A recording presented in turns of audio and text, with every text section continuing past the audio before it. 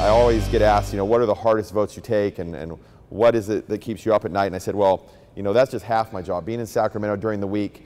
The other half is to really uh, be, like Congressman Sherman, accessible and accountable. That's why I try to do as many town halls as possible.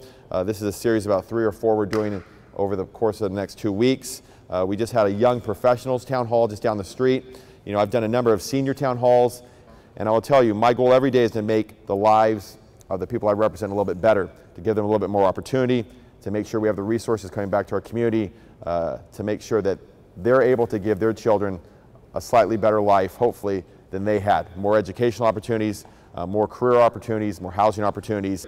Uh, we had a number of accomplishments. We didn't do everything I would have liked to.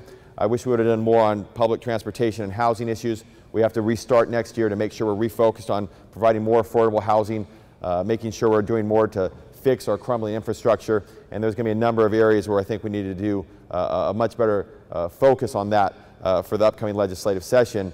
Uh, but this year I do think we accomplished a number of really big goals in the past wouldn't have seemed likely.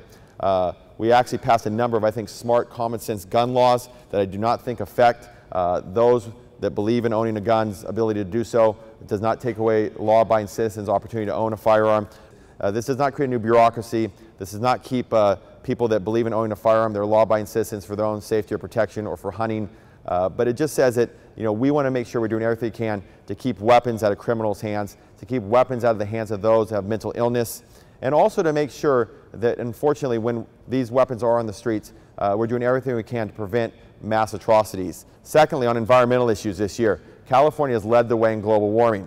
California has led the way in clean air, uh, but we have to do more. Uh, we have to continue to be a leader in this, and I look forward to working with the business in our community uh, to make sure that we do this in a way uh, that creates jobs, that allows for economic growth, and that makes sure that California is a leader in green technology. Uh, finally, I will tell you on our budget this year, I think we had a lot of great uh, breakthroughs. We've done a lot of things in the last three or four years to really start refunding our K through 12 and community college education systems. Uh, we've seen hundreds of millions of new dollars go into our UCs and Cal States. Uh, but while those are just numbers on a board, what that really equates to is 10,000 more spots at both our Cal States and our UCs for local in-state students.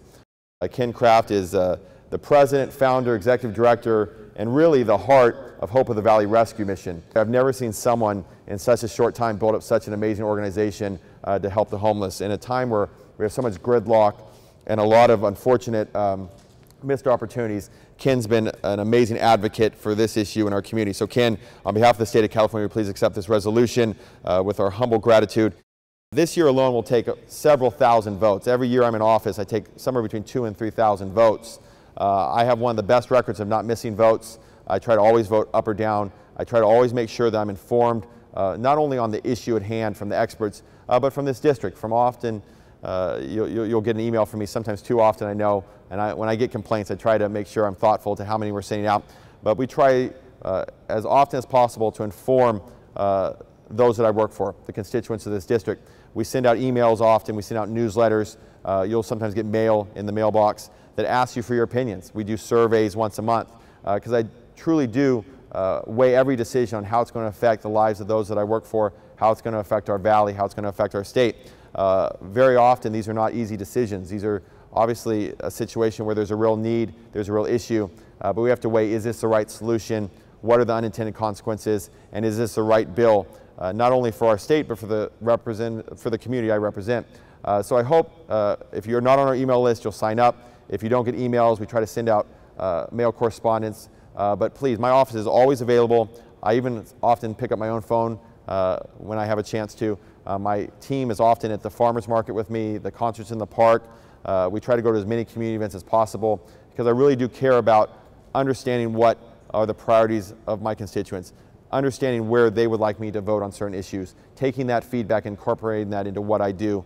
And I'm trying to make sure that we're as accountable as possible. That's one of the reasons I'm holding this town hall today, to make sure I get that feedback, to make sure I'm able to take that information back to Sacramento and represent uh, this district to the best of my abilities. I really do appreciate everyone for coming. I know you have a, you know, a number of options on a Saturday afternoon with this beautiful weather. To come spend it with me and give me your feedback really means a lot to me. Thank you so much.